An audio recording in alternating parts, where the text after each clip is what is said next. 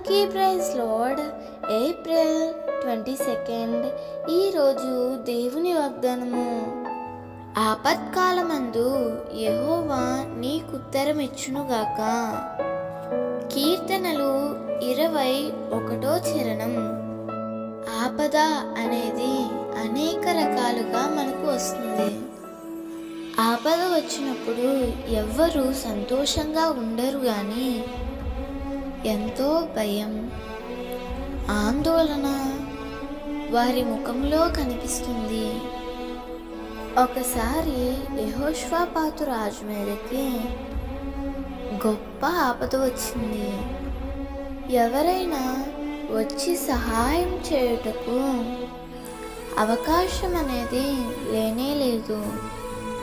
దారులన్నీ మూసుకుపోయినాయి అప్పుడు యహోష్వాపాతు రాజు భయపడి యహోవా యొక్క విచారించుటకు తన మనసు నిలుపుకొని ఉపవాస దినాలు చాటించాడు.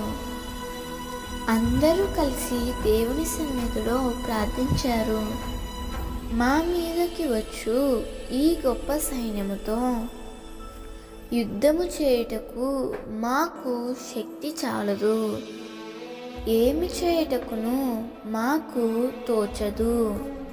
నీవే మాకు దిక్కని వారు ప్రార్థన చేశారు. ఆ ఆపద కాలంలో దేవుడు యూదావారికి యహోష్వాపాతు రాజుకు ఉత్తరం ఇచ్చాడు యూదావారులారా ఎరుషలేము కాపురస్తులారా యహోష్వాపాతు రాజా మీరు భయపడకుడి. ఈ యుద్ధము మీరు కాదు దేవుడే జరిగించును అని గొప్ప ఉత్తరం ఇచ్చాడు ప్రియమిత్రమా నీవు కూడా ఆపదలలో చిక్కి ఉన్నావా? అన్ని దిక్కులు మూసుకుపోయాయా?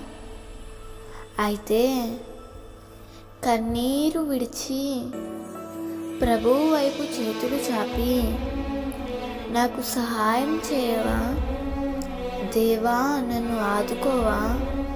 అని నీవు ప్రార్థించినట్లయితే తప్పకుండా దేవుడు నీకు ఉత్తరం ఇస్తాడు దేవుడు నీ పరిస్థితులన్నిటినీ మార్చేస్తాడు.